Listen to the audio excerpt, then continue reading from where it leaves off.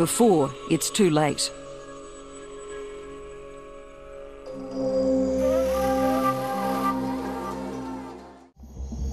This nocturnal creature is one of God's special creations.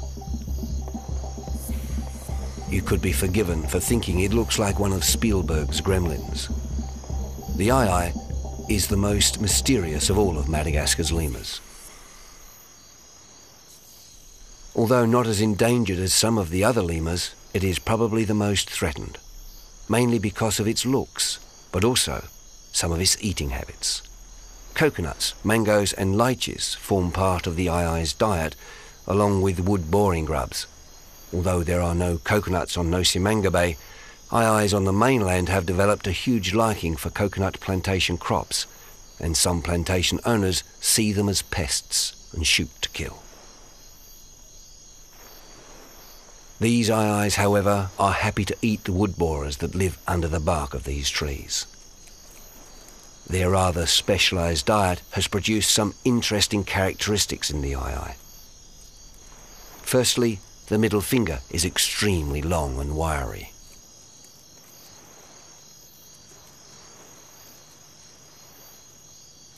It acts as a probe to dig out the bugs from beneath the bark, or to scoop out the coconut through a hole gored in the top.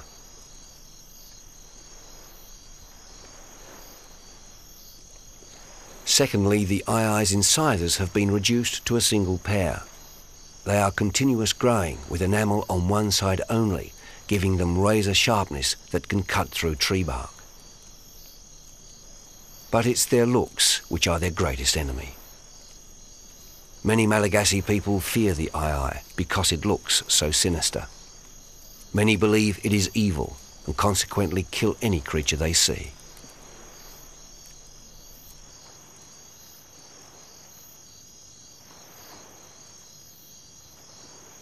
Fortunately, beauty is in the eye of the beholder, and the eco-tourists who come here obviously believe otherwise.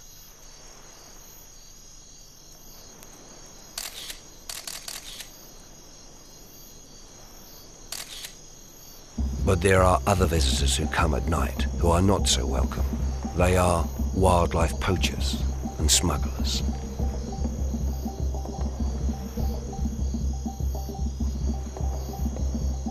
there's a persistent rumor that some fishermen, or maybe people who pose as fishermen when they come out, are getting off and um, taking um, chameleons and the leaf-tailed gecko, Uroplatus, taking them back to Maroantsetra and then shipping them to Tana where um, they're sold overseas. We don't know the extent of that problem by its very nature. It's a clandestine trade if it exists, but we have to take it seriously.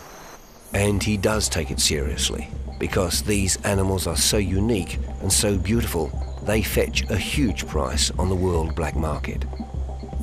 A huge temptation for the dirt poor villagers and fishermen. In fact, the illegal pet trade is worth millions of dollars, though cents rather than dollars filter back to the Malagasy poachers. Worldwide animal smuggling is second only to drug trafficking and is just as lucrative, but without the penalties. Therefore, they are constantly under threat, and Matthew and his conservation agents have to be vigilant.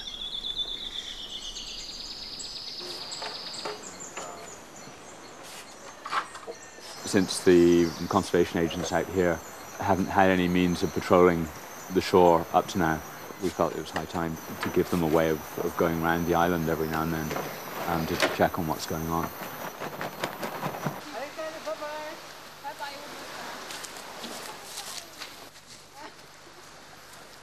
It's a very rugged island. Uh, it takes quite a long time to get around. There aren't footpaths to, to all points of the island. And we found they can make it all the way around the island in three hours, which on foot is absolutely out of the question. Can't do it. And so we hope it'll be a very efficient way as well for them to, to patrol.